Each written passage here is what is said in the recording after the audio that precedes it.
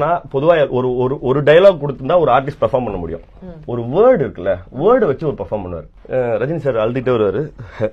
எப்பச்சு எங்க வாப்பா? உள்ளாரு அண்ணாமலை என்ன ஆச்சு? அப்படின்னாரு வந்து பக்கத்துல ஒரு- நேத்து ஒரு நேத்து ஒரு பெரிய நிகழ்ச்சி எடுத்து போச்சுப்பா அடுவேன் ஆ அப்படின்னாரு உடனே பக்கத்துல லேடிஸ் ஹாஸ்டல் இருக்குல்ல. ஆ அப்படின்னாரு அங்க பால் ஊத்த போனேன். ஆ அப்படின்னாரு அந்த நேரம் பார்த்தா உள்ள ஒரு பாம்பு வந்துருச்சு. ஆ அப்படின்னாரு அந்த பாம்பு பிடிக்கிறதுக்கு இந்த பொண்ணுங்க எல்லாம் பிடிச்சி தள்ளி விட்டாங்க.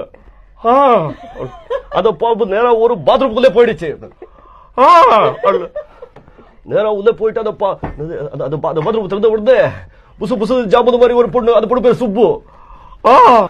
உதமாத்தோட துணி கிடைக்காத குடிசா பாத்துட்டு போ- பாத்துட்டியா கடவுளே உனக்கு எங்கேயோ மச்சம் இருக்குதுப்பா. சோ என்டையரா நீங்க பாத்தீங்கன்னா ஆனா டயலாக் அந்த சீனே முடிச்சிருப்பேன். கடவுளை இத்தனை தடவை கூப்பிடுற இன்னைக்கு? கொஞ்சம் இன்னைக்கு ஒரு பெரிய நிகழ்ச்சி நடந்து போச்சுப்பா அப்படி என்னப்பா நிகழ்ச்சி? நான் லேடிஸ் ஹாஸ்டலுக்கு பால் ஊத்த போறேன்னா ஆ, அங்க ஒரு பாம்பு வந்துருச்சு. இதை பாம்பு பிடிக்க சொன்னாங்க நானும் பாம்பு பிடிக்க போறேன். அந்த பாம்பு ஒரு பாத்ரூம் குள்ள போயிடுச்சுப்பா. நானும் அந்த பாத்ரூம் குள்ள போயிட்டேன். அங்க ஒரு பொண்ணு குளிச்சுக்கிட்டு இருந்தது.